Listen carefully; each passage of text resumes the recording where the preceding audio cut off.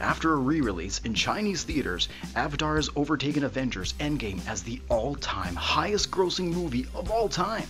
How y'all doing? Welcome back to CBR. I'm Shell, and apparently the impossible has happened, and we definitely need to talk about this. The re-release saw earnings of approximately $8.9 million for a total worldwide box office gross of $2,798,579,794. For comparison, Joe and Anthony Russo's climatic ensemble film grossed $2,797,501,328,000. Cameron commented on the film, stating that Avatar is still as relevant now as it was when it was first released in 2009. Several sequels are currently in various stages of production. News regarding Avatar 3 has been scarce, but it's been reported that Avatar 2 completed production in September of 2020.